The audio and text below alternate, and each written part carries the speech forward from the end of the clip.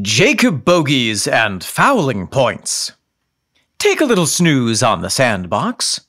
Wink wildly at the wayside objects. And encase your lead lined coffin in several tons of concrete so that your wealthy corpse won't be desecrated by those damn labor activists. Hold on to that sweet caboose. It's time to talk Tull to me. Choo choo!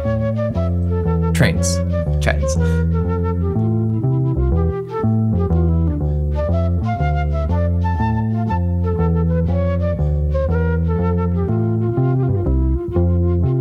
Nick, welcome back. I am Owen Thomas Sade.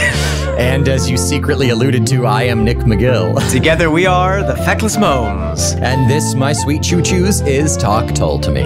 An unsanctioned meeting in the company town of Progrock, in which narrow gauge Nick and Out to Foul Omen will send signals down the shoe fly of every single track that runaway rock band Jethro Tull have ever connected to the electric third rail. We will diffuse the moose from the Gerry Conway caboose. We will pray over the power piston on David Pegg's pony truck, and we will bail off the boom barrier for Martin Barre's bubble car. And if we can tune out the noise of the Coco Locomoto and find a comfortable position for our cylinder cocks, we may finally go to sleep, perchance to dream of the leaping light engine, the rotary romancer, the travel weary treadle, the supercharged Scotsman, the flying junction flautist, Ian Axelbox Anderson, unless I said Axelbox last time, in which case, Ian Ashpan Anderson. Definitely didn't say that one. I don't know. I don't know. You got options. It's up to you now. That's great. I'll wash my hands of this. So I need to go back and listen to any song that even potentially had something to do with trains. No. no, you can. I, let, us just use Ashpan. Nick, Okay. welcome again back to the podcast. I've been here all week waiting for you. Thank you, Christopher Walken. It's great to be here. I am really excited to dive into this episode. Of course, we are still on the Broadsword bonus tracks. That's right. And after several weeks of diving into some instrumentals, we finally get to talk about a track with lyrics. Yeah, here we are. We are half we're technically halfway through all of these brand new bonus tracks. Even though we've only had two episodes, we're four episodes in, and then we've got four more, starting with Inverness Sleeper, which is dreadfully exciting. It's really nice. We've had the, those two weeks of like this is this is the sound, the the oral experience of Broadsword, and now we get that kind of that vocal experience of Broadsword. And let's be clarifying of what we are to say. There are some 80 tracks, 81 tracks, Right. in fact, that have been released by Steve Wilson. But many of those, in fact, most of those are songs that we have already covered. Right. The remasters, the first like dozen, I think, are the remasters. Then we have some live versions and just some studio demo versions and things like that. Some stuff that's found on, oh gosh, what's uh, Nightcap? I think the second disc Yeah. of Nightcap. You'll see a lot of those too. Yeah. And some songs that were found in the pocket of an old trench coat abandoned at the coat check of Paddington Station. And someone pulled it out of the lost and found and, and found that. And um, they could have ransomed it for a lot, but they gave it back to Ian for, for the sake of all mankind. Who now can marry Lady Bracknell's ward. Is that a part of the importance of being earnest? Yeah, yeah. He finds what's he find in a in No, he was he was found. oh oh oh he was okay. I was like, what what did they find? Okay, I get it now. They end up they're brothers at the end. Yeah, hot. Yes. Oh, Oscar Wilde, so Oh, good, Oscar Wilde. so saucy he is. So, without much further inclement weather moments, shall we take Correct. a listen to Inverness Sleeper? Let's just drop a little disclaimer here. Speaking of inclement weather, Omen is in the throes, in the paroxysms of Hurricane Adalia. Is that her name? Is that the name? Adalia? I only ever call her Your Majesty. Yeah, so Omen just as soon as we got on the, the camera, as soon as we started recording, rain started hitting his window. So And me through the window. through the window, right, right. So just brace yourself if you hear pitter patter of rain. I have my windows open and it's nice and cool and the sun is out and you'll hear crickets and maybe the blue jay will come back and yell at me and uh, traffic. But it's the tail end of the summer. Clearly, it's autumn already. And uh, yeah. Oh, I have a theory. I have a theory. I'm sorry. Really divergent. No, you know what? We'll save it for the halfway. Completely unrelated, but we don't have anything halfway, so we'll save it. I have a theory too. Maybe I already told you. Should we save that for halfway as well? Sure. If we remember it. If we remember it. Okay. Uh, yes. How about we listen? How about we we fall asleep to Inverness Sleeper? Sleeper, I hardly know her. You brought her, you sleeper. There it is. There it is.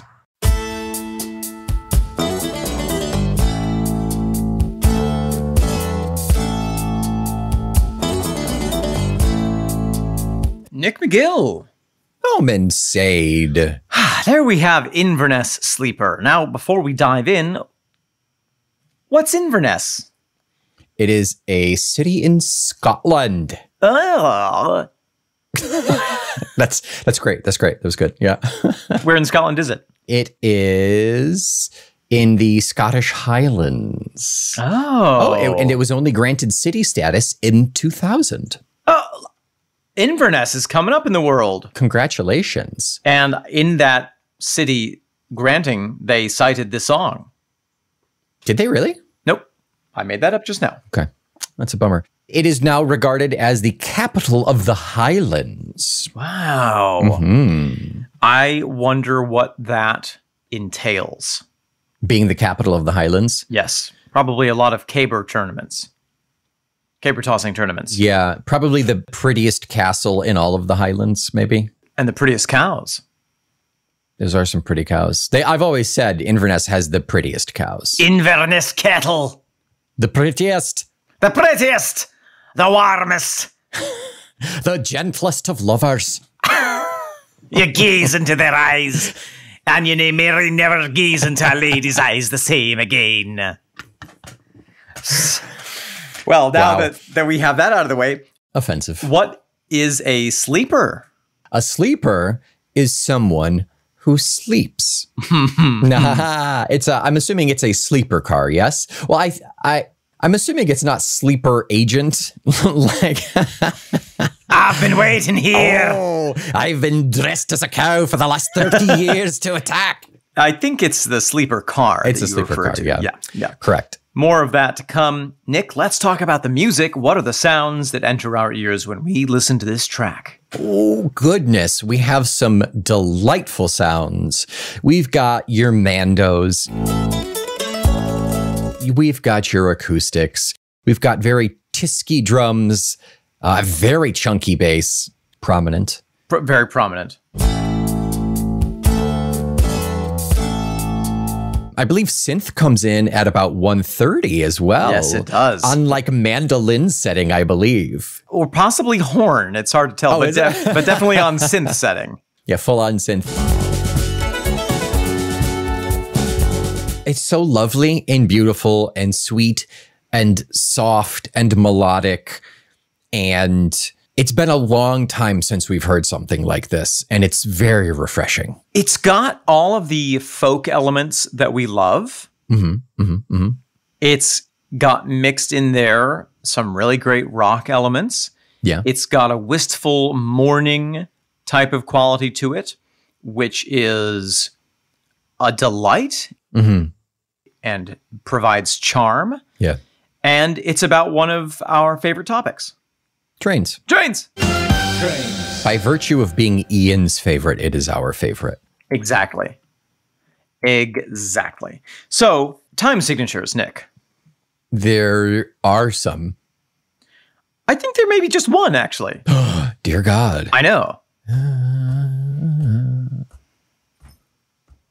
Is it 4 4?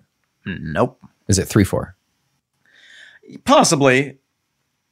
But I think it's 6 8. Ticka ticka ticka one, two, three, two, two, three, or one, two, three, four, five, six. Bum dum dum. Ah, okay, yeah. Ticka ticka dum dum dum dum dum. Ticka ticka dum. So I think it's in six eight. It's at least in threes. Okay. You could count it in four, which would be very awkward, but it would match up when you got twelve in. So if you wanted to do that, you could. That's how I do things here. Yes, awkwardly and Awkward and just a moment of comfort. and then it gets awkward again. at great expense to myself and, and at the convenience of no one. Yes, right, right. Not worth it at all. What we do have is, you mentioned it already, some lovely mandolin work. Mm, ticka. yeah, very plucky. But we've also got a layer of like strummy Guitar. mando. I think there's guitar and mando on there. Is or maybe it's just guitar really high up. Because there's there's a part there where where you've got this kind of this solid layer, this solid wall of acoustic sound. And then on top of that, we've also got specific of the, the picking of the mando. of those engines humming. It is interesting. It's like all the string instruments are playing it Yeah. al- almost in unison. So you get this really deep, rich. You have the bass going along in the same rhythm. You have the mandolin. I think there's an electric guitar in there as well. I don't know if there is an acoustic guitar. There may be no acoustic guitar in this. Really? I know it's definitely happening at about 55 where you've got chicka chicka chicken going on while also the the noodle of the mando is going on top of that. But it's also like the tisk of the the cymbal on top of that as well. of those engines humming. I think it's. I think you're right. I think it's double mando, bass, maybe some electric thrown in there, but no acoustic guitar. And I think I think cymbal might be on there as well. But they're all doing that all of them at the same time. They're there's that stacked dagwood of a sandwich while other stuff is going on on top of that. It's crazy. It's it's such a unique thing to have everybody kind of playing the same thing. Is really like a very solid back to the song. I enjoy the sound of this very much. It's very nice. It seems at once upbeat, but also down tempo. Yeah, right. Because it has those sections like dum, ba dum, Mhm. ba dum. But then over top of it, you have the ticka ticka ticka down, ticka ticka ticka down. It has a sense of movement and uh, liminality. Does it now? Lemonality Delicious. or limonality you know, the, it's my older cousin. It's a citronality. Yeah. There's a sweeping quality here. Yes. With the music and particularly with Ian's singing. Mm. We don't have that a lot. Even in the earlier stuff, it's not like, oh, we just haven't heard it in Zealot Gene and RökFlöte. He doesn't really kind of sweep with his lyrics a whole lot, but this one, he's just kind of like, da da da, da da da da da da. This is also at an earlier age when he had a little bit more leeway with his breath support. Yes. He's also singing a lot higher than we've heard in recent albums because, of course. Right. He's definitely in prime of breath support and range for sure.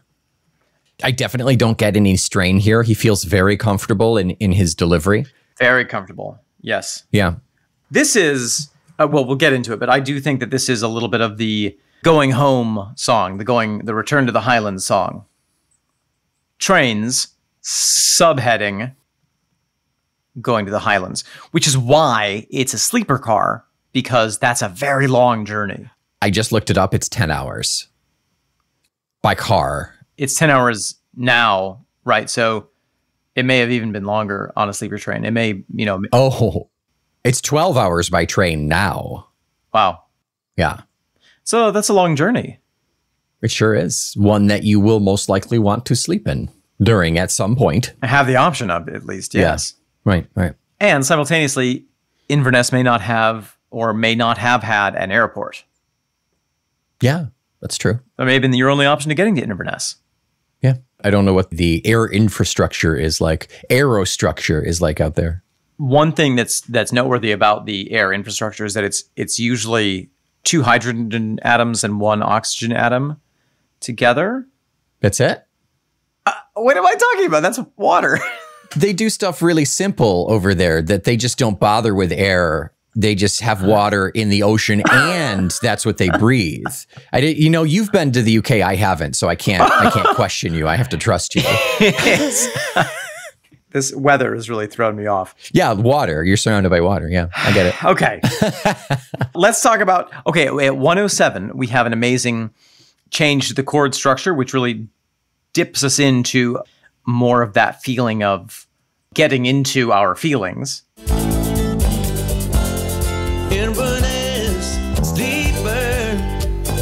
Is it a key change? It gets brighter. I don't know if it's necessarily a key change.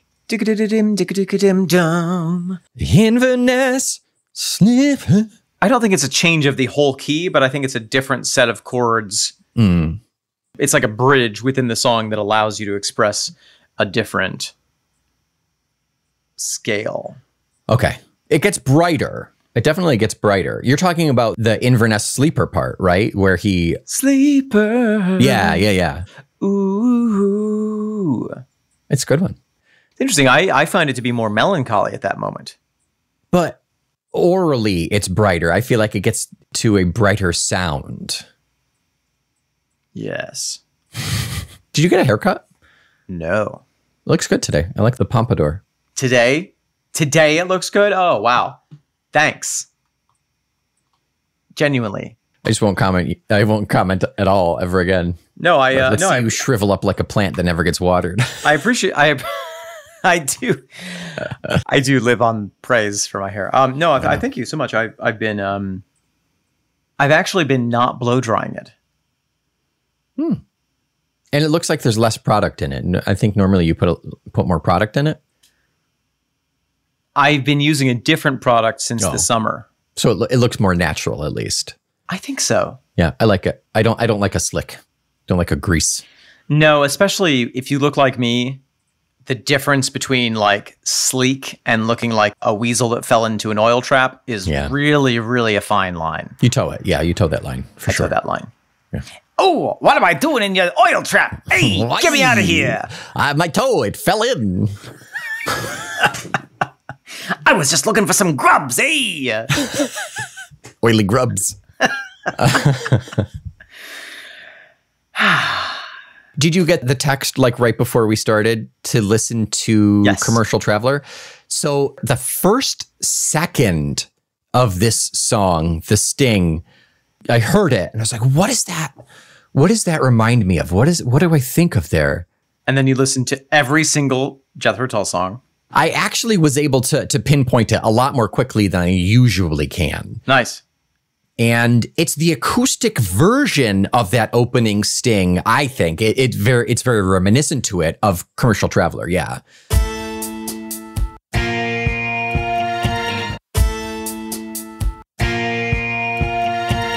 It's very similar. I think what the because it's not the same key no, and it's not the same instrumentation. it's completely different. It's not the same notes, but what is the same about it is that it has a it's the same strumming pattern. yeah, it's that bum. Yeah. Kind of done by the bass. Mm, okay, So it's got the same rhythm of pluckage. okay, your standard pluckage rhythm. It's the same plumage. Okay, yeah, yeah. It definitely reminded me of that, and it only took a couple of tries to to find it. And the more I listen to it, the more I'm like, okay, I see differences here, but it's still like on that very first listen, it's like, oh yeah, that's what it is. And I think that all artists go through phases of playing with the same rhythms, reusing rhythms. Oh yeah, it's certainly not like like oh well there here comes this one again, you know. Like it's Right. it's very well done and it's unique. You don't terribly hear like plum and then get into the song. You know, we've heard it twice in the how many episodes have we done of of this would be Three. this is episode number 3. This is episode number 245. I was close. So we've heard about 250 plus Tull songs now. We've heard it twice, you know, and this one isn't even mainstream. And commercial, you know what? Commercial Traveler wasn't even mainstream. That was a No, bonus track too. It was. Yeah. And I also think that when we listen to Inverness Sleeper, I can understand why it wasn't included on the full album. To me, there's a sense, and I genuinely think this is one of the coolest songs that we've heard in a long time. Just you know, of its uniqueness and its style and its and its theme and everything. Mm-hmm. I find that it takes, and maybe it's my listening ability, but I feel like it takes a minute for the rhythm to solidify in the beginning. Hmm. Let me listen to it, just that opening.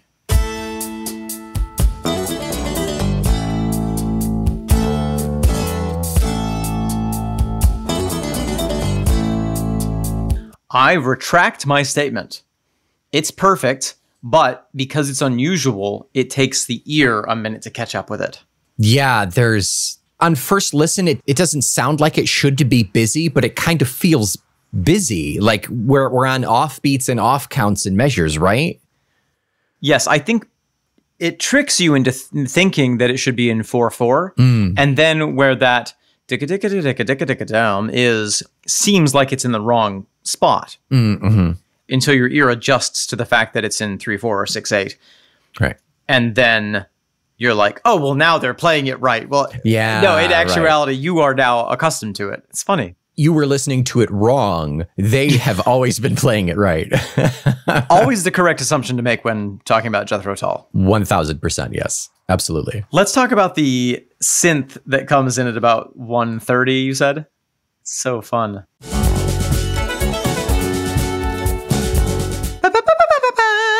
I definitely agree with the horn sound now, but I, I thought it was initially a synth sound because I think there's a little vibrato, which in turn mixes with the vibrato of the tremolo of the mando at that exact same Yes, time. So it yes. sounded like it was doing that. I mean, it's undeniably the synth, and it's not a very convincing horn sound. Remember, this is right. 1981 or 82, Yes. I believe. Yeah. So early days for synth believability when it comes to it replicating other instruments. Right. But it adds something really funny to it. It adds a sense of adventure, a sense of nobility, perhaps. I think 1981 synth can be a kind of approached like you would approach the Nintendo Entertainment System Yes. versus the Xbox 360 now, the Xbox One. You know, like in 1990 when the Nintendo came out, it was mind blowing. In 97 or 8 or whenever the the N64 came out, those graphics were ridiculously good. And mm-hmm. then you look at it now and it's just polygons and cardboard boxes walking Right. around and it's Right, right, right. ridiculous. Yeah. But you, you so in the moment, I I bet you that sounded pretty damn cool. I agree, and I think it still sounds cool. I, Yeah. You know, it's funny. I was I was telling you that I got all these uh, cassette tapes, Oh yeah, right. and one of them that I slightly regret, or at least am, am embarrassed to have got and listened to, is called Sunday Morning Coffee Two. Can I see the the picture of it? Can I see the front of it? Chip Davis day parts? Yeah. It looks like is it like smooth jazz? What is it? Jazz would be a, a generous term. Based on that cover, like it sounds like it would be kind of okay. You know, it's difficult to know, you know? I bet you that's not even on Spotify. I wonder if it is. Look up Chip Davis. Oh yeah, yeah, Chip Davis. What's regrettable about it? What's regrettable about it is that it is uh, it was recorded and released in ninety in nineteen ninety three, and it is um, I would call it smooth schlock. When it has the synthesizer, it's like it's just the worst. It's not. It hadn't gotten to the point where synth was believable, and it was too far away from the point where synth was innovative. Are you listening to it right now? No. Chip Davis is apparently from Mannheim Street Steamroller, which is very synthy. Oh, He has an album called Mannheim Steamroller Meets the Mouse, which is basically Mannheim Steamroller doing Disney songs. Let's do Hakuna Matata.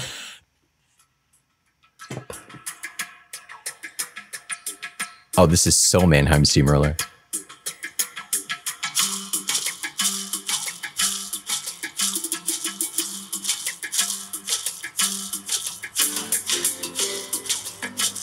Oh, the, the build up.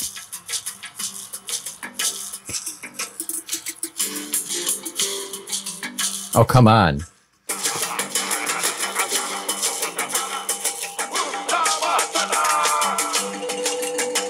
Oh, it's it's not great. It's not, that's better than what I'm listening to. I want to read you the introduction to this um, cassette tape. Please do. On Sunday mornings, I like to sit in my sunroom, drink coffee, read the paper, and listen to music. I particularly like to listen to an eclectic mix of styles in a constant mood. Since I'm so picky, Constant mood.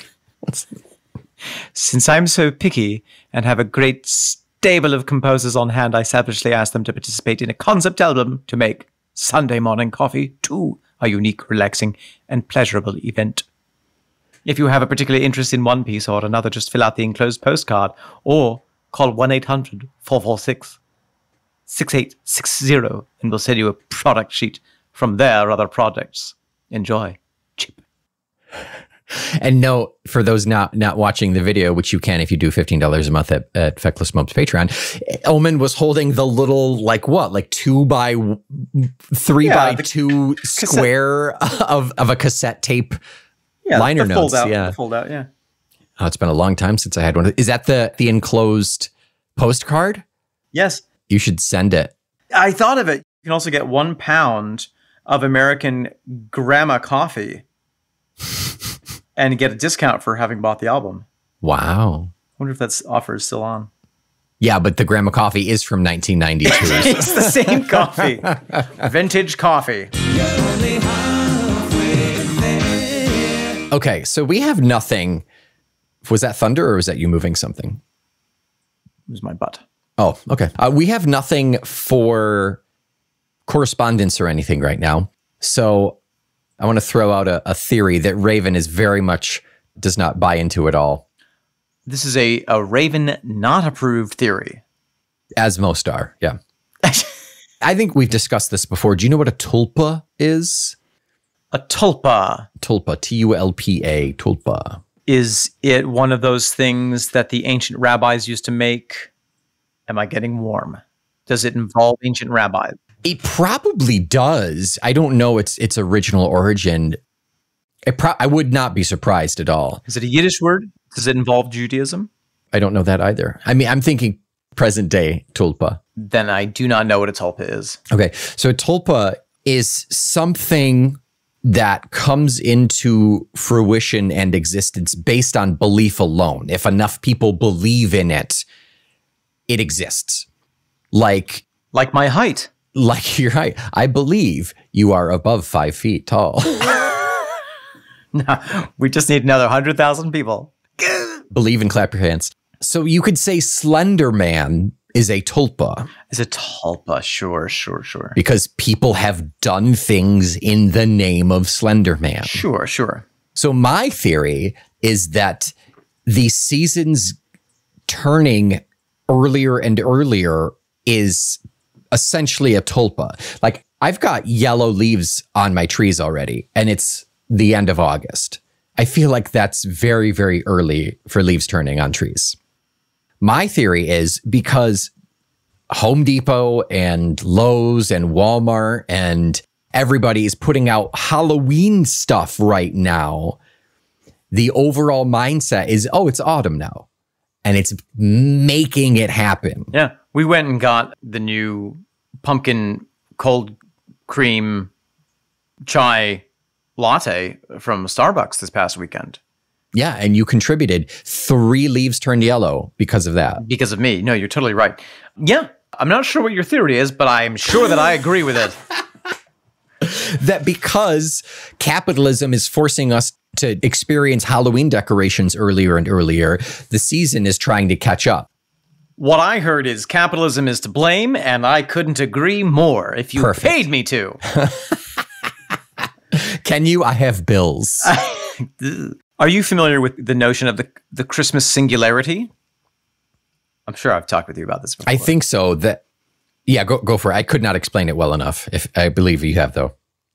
as you've mentioned, Home Depot and Target and whatnot will put out Christmas decorations earlier and earlier and earlier. You, every year, Christmas music is played on the radio earlier and earlier and earlier. Right. So, by logical extension, there will come a point when the Christmas decorations for next year are put up before the Christmas decorations for this year have been taken down, meaning that we will have reached a Christmas singularity where every day of the year is Christmas or getting ready for in the Christmas season. It's the same day where you're in dueling mindsets of, oh, I really need to take down those decorations. Oh shit, I really need to put up those decorations. And you're just in this internal struggle. It's the opposite of what the Ice Queen in The Lion, the Witch, and the Wardrobe created. She created always winter, never Christmas. What we're creating with capitalism is always Christmas, but never winter. yeah, right. Was that your theory? You said you had a, a different theory. No, my theory was about time signatures. Oh, let's talk about that because that's even even remotely rel- related to this So- frickin' podcast. At some point, we were thinking about, you know, why is it that 4 4 is such a, is a literally common time signature? I think we did talk about this. Yeah, yeah, yeah. We did. It's We have two feet. People can dance. Yeah, People can dance to it. yeah. Well, People can some, dance. some people can dance to it. Not me. I, I refuse. I refuse. I subscribe to the footloose way of life. The pre Kevin Bacon footloose way of life. Pre Kevin Bacon? Is there a pre Kevin Bacon footloose? Yeah, the town. Oh, oh, before Kevin Bacon shows up. Oh, okay. I thought you were like a version of Footloose before Kevin Bacon was in it. Isn't the town itself called Footloose? Oh, I don't know. I've never seen the film. I don't think the town is called Footloose. I could be wrong, but I don't think so. Welcome to Footloose, Missouri. Don't dance. Don't dance, Kevin Bacon. Nick, let's talk about Inverness Sleeper. Yes, let's talk lyrics. We've covered Inverness and we've covered Sleeper. What, how, ha, b, your intro, your intro, your triptych, how does that fit into our theme here? Trains. Was it trains? No, that was train stuff. Bury your lead lined casket in concrete. Oh! So, So, if we're talking about the sleeper car, we must Okay. talk about the capitalist who gained a lot of profit from the sleeper car, Mr. I'm trying to get his first name. I bet you could guess it. I bet you could guess his last name. Harold Sleeper. George M. Pullman, Yeah. a New Yorker who made a lot of money on the railroad and traveled frequently on the railroad for work. This was during a time, this was uh, sort of before the American Civil War to post Civil War era. He was traveling on the rapidly growing rail system quite a lot and found that it was very uncomfortable. It was a very unpleasant experience. Hmm. Yeah. I can only imagine back then. Sure, there were sleeper cars, but they were like, "Oh, let's stick some beds in here and hang a hammock," and they were they were very, you know, thrown together and not really very comfortable. Yeah. So he created he created one. He he persuaded one of the rail companies to let him convert two of the of his cars, and in 1859, the Pullman sleepers came about, and they were a huge success. Uh, and then he he started manufacturing them. During the Civil War, he, like other wealthy men of his era, hired someone to take his place in the war Right. That's the American way, my friend. because money can buy you anything. After the Civil War, he had a big uh, publicity moment. In the train that was carrying Lincoln's body back to Springfield, Illinois, he managed to include a couple of sleeper cars. So everyone who came out to see the Lincoln funeral, Wow. to see the Lincoln train go by, saw, oh, wait, what's that thing? That's so gross. Yep. Hey, hey, you want to make $5? Go get shot. Oh, and by the way, go sleep in this. go sleep in this.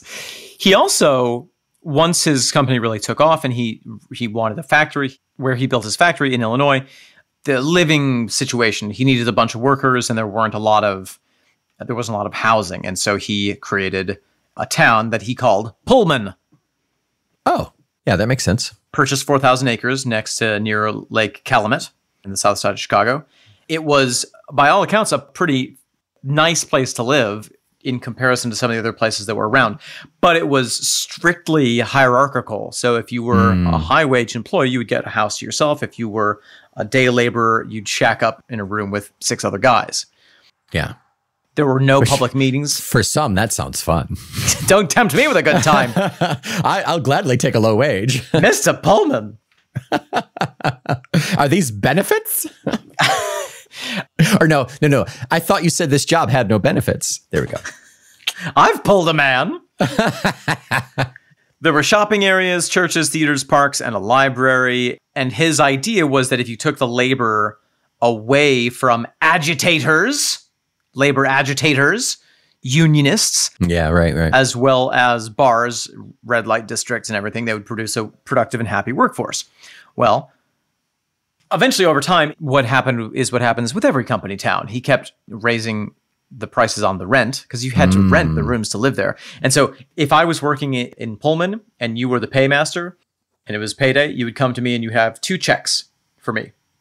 One would be a check pre-made out of what I owed you oh for my rent, which I would Yep. fill out and give right mm-hmm. back to you. And the other check would be what's left over that I got to keep.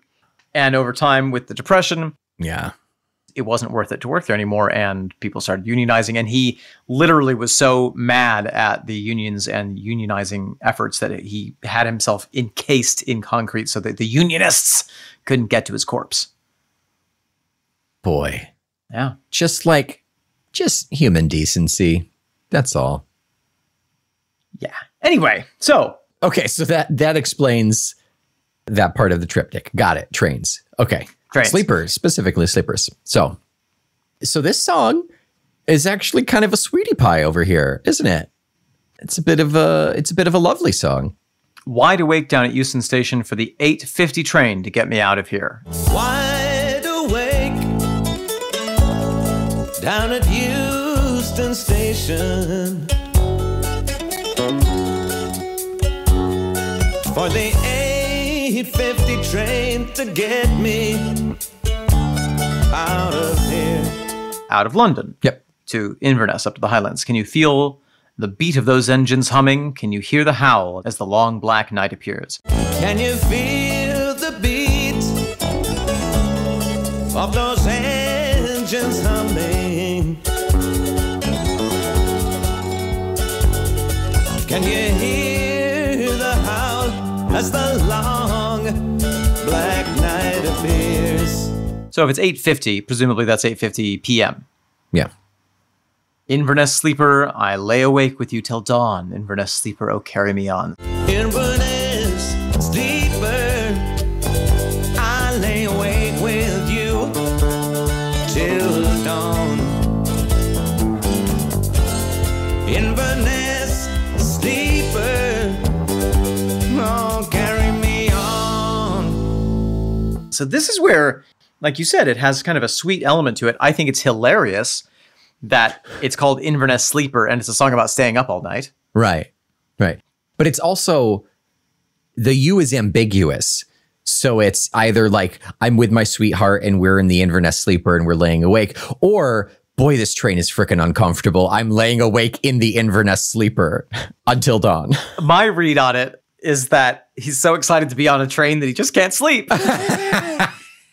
Ian's in his footy pajamas, just like so, just like wired in bed. Yep, covers up to his chin. Martin, did you hear the engine? yes, Ian, it's a train.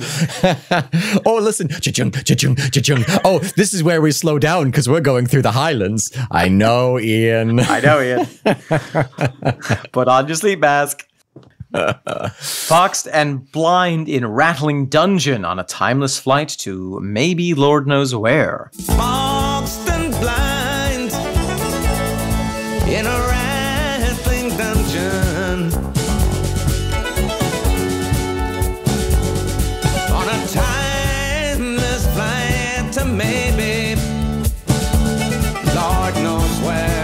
So this is evidence to support the idea that maybe it's not the most comfortable. Maybe it's not a Pullman. You're not sleeping well unless you're sleeping in a Pullman. You're not pulling a man unless you're sleeping with Pullman. With a Pullman. And I love this idea of what the next line expresses. For me, this is the kind of heart of the song. You can just believe there's no destination, no engine driver sitting up there. You can just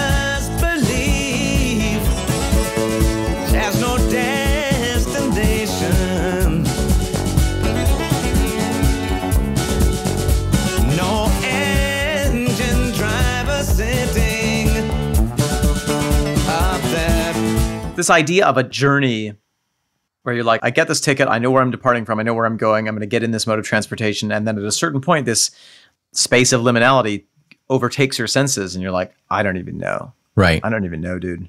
Yeah, the timeless flight. I mean, if it's a 12 hour train ride, you know, it's very easy. Particularly, I mean, even back in 81, you had a wristwatch and that's it. You don't have a constant source of time. You'll fall into that. And especially with something that has its own rhythm, like the chugging of the train, mm, Yeah. the rolling, rattling of the wheels. It's very easy to kind of lose your your head there. And I think it's kind of a romantic thing, but it's also kind of like a head gamey thing of just like, ooh, the, I'm in a train forever. When I lived in Chicago, I would often take the Amtrak mm-hmm. back and forth from usually Syracuse or sometimes New York City to Chicago. And that's about a 12 hour trip. Yeesh. Mm-hmm. And nonstop? Or would you hit other stations? I mean, imagine you would, right? For the Amtrak? There were a couple of other stations. There was Syracuse, Syracuse, Rochester, Buffalo. And then after that, I don't think there was anything. Maybe Erie. What else is up there? Yeah. It didn't stop in Gary. I think it used to. I think it, we would pass by the Gary train station, but it was completely abandoned. Tumbleweeds, kids with flick knives. yeah, graffiti. yeah. and at a certain point, and it usually was an overnight train. I'd usually get on at about eight o'clock at night and get there at Yeah. about nine in the morning, let's say. And it was always, you know, I was it was not a sleeper car situation, couldn't afford it. Yeah. But it had nice reclining seats, and if you got a whole row to yourself, it was fairly comfortable. But you you Yeah. always kind of got into that state of half sleep, half dozing. My strategy would always be to bring a vodka with me and download some kung fu films. And you didn't have your noise canceling headphones at that point either. So No, just the little ones on sticks. the shady little earbuds. Yeah. Yeah. So I can relate a little bit to that sense of like, yeah, I'm on this train. I know it's going somewhere, but at the same time, is my life going anywhere? Right. And also, that brings up a good point that after that specific length of distance, you know, you don't know where the next station is. You don't care where the next station is as long as you get to where you're going. So who gives a shit where's after what's after Rochester? I don't know where we're going, but I do know where we'll end up. right. You're kind of in this like I know I left here. I know I'm arriving here. I could be going in corkscrews up in Spain for 12 hours. It doesn't matter, you know. I mean, maybe it does if you want to do that. I think there's also, like you said, you only have your wristwatch, maybe some novels, probably your notebook. There were no cell phones. yeah. Maybe in 82 had the Walkman come out yet? The cassette tape Walkman? It's possible. Ian being an early adopter of technology, maybe. Maybe. he had a bagpipe to pass the time. Yep. Yep. But you have limited options to while away the hours. Right. you're at the mercy of whether or not the cafe car is open, whether or not they are stocked. And so you do have a lot of time to reflect. Walkman was out in 79. Okay, so, he could have he could have had it's a Walkman. possible, yeah. More likely he was simply listening to his thoughts. Ah. Flip to side B. And now more thoughts. Inverness sleeper, I lay awake with you till dawn. Inverness sleeper, oh carry me on. Inverness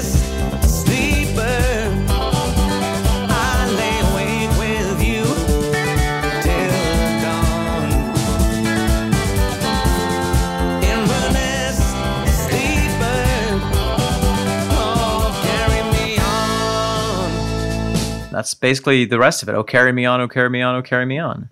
Yeah. you know, when you drive, you are in control, let's hope, in control of your vehicle. In control of your functions, your bowels, and your vehicle. Yes. If you're on a train You don't have to be in control of any of those.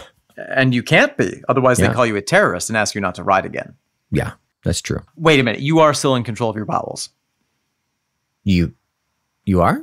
You've been riding trains wrong, haven't you? Very wrong. No wonder they get very upset. I do think there's a sense of surrender. You have to surrender to this huge object. Even a plane is a little bit different. You know, it's a smaller scale. In a train, it's it is like a little microcosm that's being carried along in the world. Mm-hmm. And you get to look out, you know, look out the windows and see the trees go by and Yeah, right. From a remove, you can still experience the world. Whereas, like a plane, you can look out and see clouds and maybe like a little postage stamp of a, of a town or something. But there's this weird disconnect there that you are in your own little your own little world. I love this song, Nick. It's really good. It's really, really good. It's a very sweet take on the train song. And uh, musically, I really, I really dig it. It's really, really nice. It's sweet. You hit the nose on the nail. Yeah, I did. I sure did. Ouch. You said that from a distance, train travel is very romantic, but actually doing it is probably a bit of a pain in the ass. In practicality. Although Ian friggin' loves a train, so I'm sure he was just having a gay old time. But a long train journey like this, I think, is the sort of thing that when we when we're listening to the song, we're like, ah, the Inverness Sleeper. Oh, what a beautiful trip up to Scotland. And if you're doing it for the twelfth time, Yeah. you're like, God damn it! I wish there was just a somebody invent a fast hot air balloon or something. A jet air balloon. It's a balloon. You fill it up like a regular balloon, but then you let the stopper out and you go. Right. And you just hope you land in the right spot.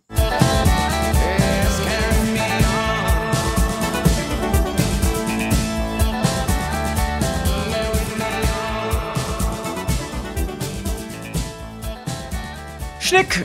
Schnut else are we schnocking about schneck schneek? Possibly the best title in any Jethro Tull song. Really? I haven't listened to it yet. I really hope the lyrics hold up to the the sound of it. We're talking about me dinosaur. Me, comma, dinosaur. Me dinosaur. Like I, Claudius. Possibly or who did this? A dinosaur asking who did this. You say me dinosaur. But not, that's me, dinosaur. right, yeah. Yeah, excited to talk about that next week. I'm sure it will be positively paleontological. Paleolithic. Thank you. Yes. Until next week, I will lay awake with you till dawn. I am Nick McGill. I'm boxed and blind in a rattling dungeon, Omen Thomas Sade. Can you hear the beat of those engines humming? That's the beat of Talk Tull to me. And that howl in the long black night that appears, it's the feckless momes.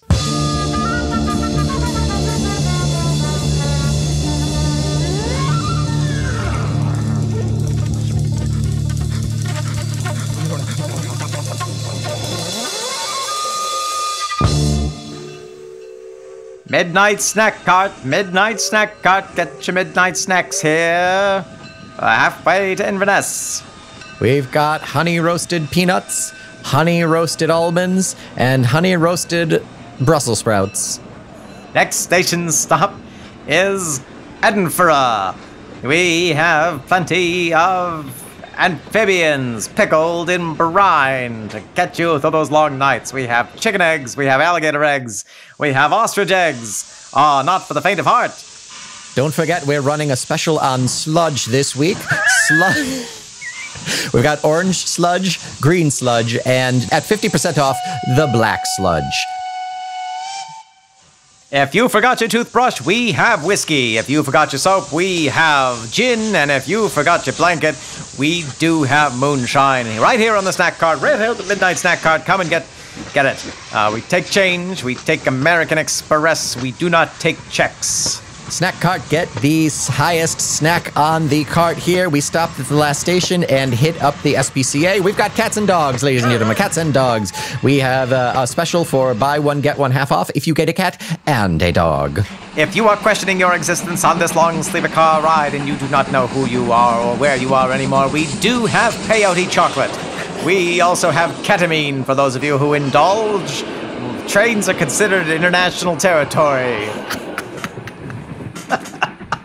Just a reminder the chaplain will be around to perform random marriages. If anyone is interested in a random marriage, the chaplain will be around in about an hour. Please be aware if you are asleep and sleeping next to someone, he will marry you. So if you go to bed a bachelor, you may wake up a wife. We uh, we are fully stocked with false identities, new outlooks on life, and fragments of poetry which will haunt you until the end of your days. And for our special guests up in the front car sleepers, we have pints of regret. And just before it goes bad, we have priced these to move as quickly as possible. Get your podcasts. We have all of the past catalog and present episodes of Talk Tull to Me, which, as you know, is in fact a proud member of the Feckless Momes audio network. And they're not going back to London, so either buy them or we dump them.